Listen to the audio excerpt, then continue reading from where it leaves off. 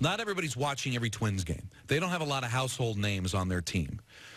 I think everybody acknowledged how good they were, but when you have the Tigers and the Royals in your division, some people believe the reason this team flirted with 100 wins or had over 100 wins is because they were in a lousy division.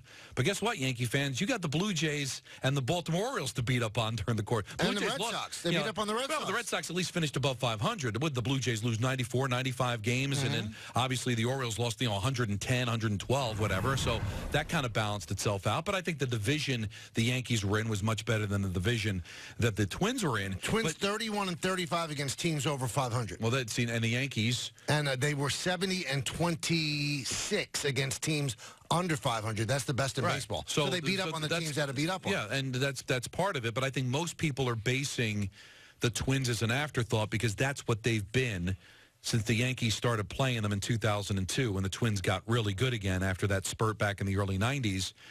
That the Twins have had good teams and the Yankees have squashed them at every turn. Mm-hmm. This is the best Twins team, I think, in a long time. So we'll see. I don't think there's going to be a cakewalk. But as, you know, by 10 a.m. on Friday, the Yankees have to have their roster in.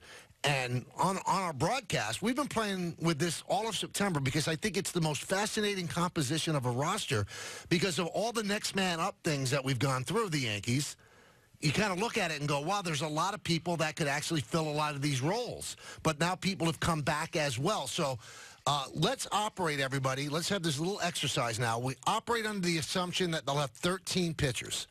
Now, when I give you the 13 pitchers that I think they'll take, you're going to say, well, maybe they could actually carry 12 and have an extra guy on the bench.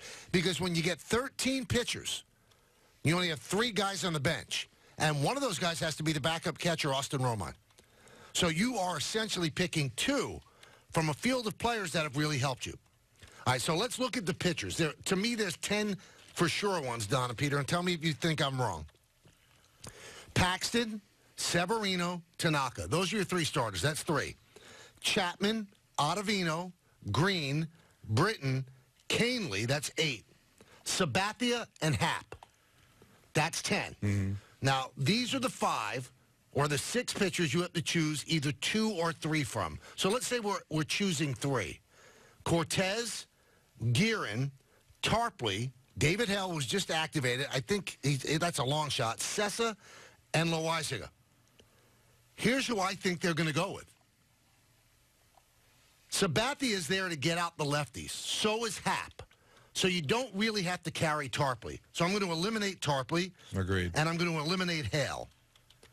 So now you get three out of Cortes, Gearrin, Cessa, and Loaisiga. Loaisiga is a weapon. He's one.